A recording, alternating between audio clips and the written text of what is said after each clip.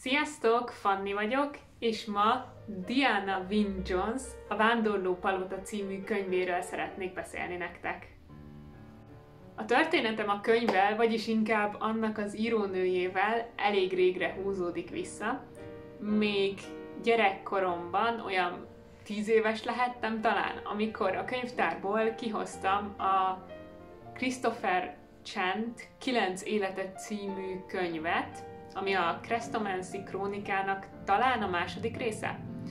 És nagyon-nagyon tetszett, többször is olvastam, meg aztán elolvastam a többi részét is a sorozatnak, ami, ami megvolt a könyvtárban, ami, mivel magyarul csak három része jelent meg az amúgy hat részes sorozatnak, amit nem értek, hogy miért, mert annyira jó mindegyik része, ezért ez nem volt túl sok.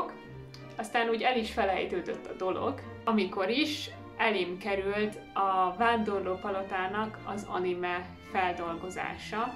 Ez egy egész estés anime, animációs film, ami nagyon-nagyon jó, tényleg.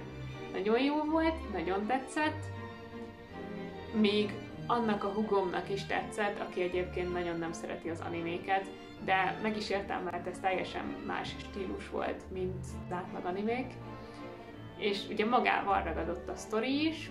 Tudtam, hogy ezt egy könyvből készítették, meg oda is volt írva, amikor néztük a filmet. És akkor összeraktam, hogy ja, hát ezt ugyanaz írta, mint a Crestomancy krónikát, amit én úgy szerettem, akkor biztos, hogy nagyon jó, meg hát, hogyha a film is ennyire jó volt, de akkor az alapanyagnak is annak kell lennie, vagy még jobbnak, mert ez általában így szokott lenni.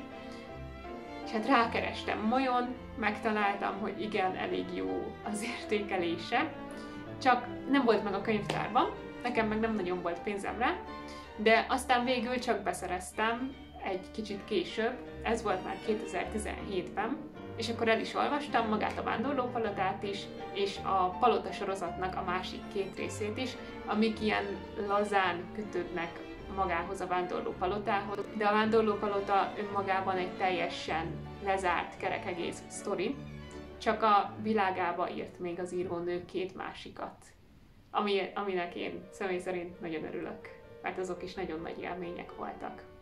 És hát ugye volt ez az olvasásom, nagyon tetszett, és az elmúlt egy-két évben mindig az volt, amikor ránéztem a polcon a vándorló palotára, hogy jaj, de újra kéne olvasni, de hát annyi könyv van, amit most el akarok olvasni, és még nem olvastam, hogy így folyamatosan halogattam. De most úgy jártam, hogy hazamentem a szüleimhez, a vándorló palotát ott tartom, és az összes olvasatlan várólistás könyvem az Budapesten maradt de amit éppen olvastam, azt elolvastam otthon, ezért szükségem volt egy könyvre, amit olvashatok a vonaton visszafelé, és hát így jött velem a Vándorló Palota, aminek a felét kb. el is olvastam a vonaton, szóval nem tartott sokáig a könyv, mert csak úgy röpültek a lapok, annyira jó, tényleg nagyon-nagyon jó volt egy másodjára is, ezért mindenképp akartam csinálni róla egy videót, hogy többen megismerjék, mert botrányos, hogy mennyire ismeretlen valami 600-an értékelték molyom, és legutóbb 2011-ben adták ki, és sehol semmit nem hallok róla, ami szerintem így gáz. Mármint, hogy annyira jó ez a könyv, hogy mindenkinek ismernie kéne, minden korosztálynak. Fú, nagyon, nagyon kevés ilyen könyv van. Főleg az az érdekes, hogy így szerintem ilyen kortalan. Az eredeti megjelenés az 1986-os, és én itt 25 évesen 2021 végén is nagyon élveztem. De hát miről is szól maga a történet? A történet Ingariban játszódik, egy kitalált mesevilágban, ahol a varázslat az egyáltalán nem ritka dolog, hanem teljesen hitköznapi és beleszövődik az ottani emberek életébe.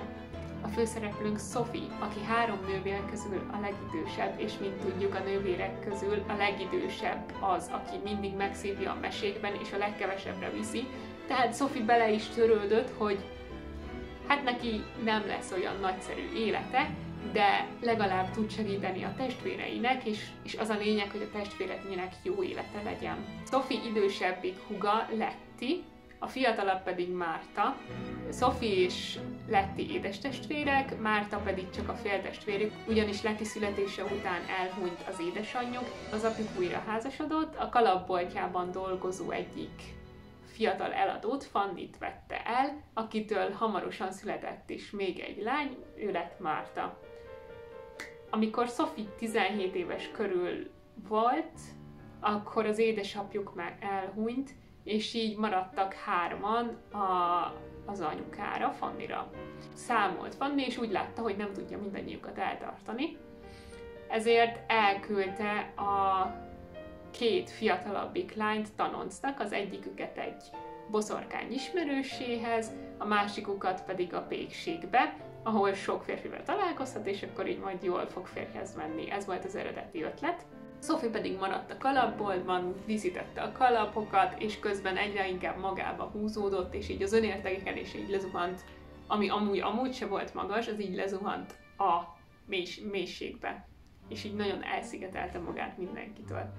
És ebből a helyzetből az rántotta ki, hogy a történet főgonosza, a puszták boszorkánya egyszer csak betoppant Sophiehoz a kalapboltba, és elátkozta Sofit. Sophie-nak gőze nem volt, hogy miért, de elátkozta, és így Sophie egy öregasszony testébe került, tehát így hirtelen megöregedett.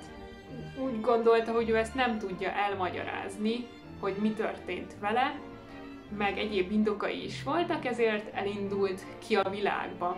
Eljutott a vándorló palotáig, ami egy hírhet lány szíveket evő gonosz varázslónak a palotája, és hát ide került be Sophie.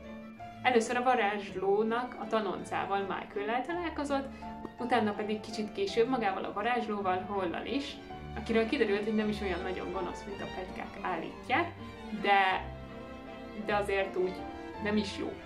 szóval egy nagyon összetett karakter, akinek, aki tele van jellemhibákkal, ahogy egyébként a könyvben az összes karakter, de tele van pozitív tulajdonságokkal is, ahogy a többiek is. Tehát nagyon összetettek a karakterek, főleg ahhoz képest, hogy egy meseregényről beszélünk, és az egész sztori innentől arról szól, hogy Sophie és Hall, hogy interaktálnak egymással. Ó, és a legfontosabb karakter is felejtettem, vagy talán nem a legfontosabb, de még egy nagyon fontos karakter, Calcifer, aki egy tűzdémon, aki, szöve, aki üzletet kötött Hollal, és ezért ő működteti ezt a vándorló palotát, és a Holnak a kájhájában lakik. És Calcifer egy, megbeszéli Sophie-val, hogy megtöri Sof- a Sophie-n lévő átkot, cserébe, hogyha Sophie előtte segít megtörni a hollal kötött egyességét. Hol megengedi, vagy hát nem megengedi, csak nem ellenkezik arra, hogy a hirtelen a házába került házsártos, takarításmániás öregasszony nála maradjon. Innen folytatódik tovább a sztori, hogy Sophie és Hol milyen kalamajkákba keverednek, ki lesz szerelmes kibe, a szoknyapecér varázsló, aki amint belé szeret egy lány, már is elmúlik az összes érzelme, és tovább áll vajon. Megjavul-e valaha?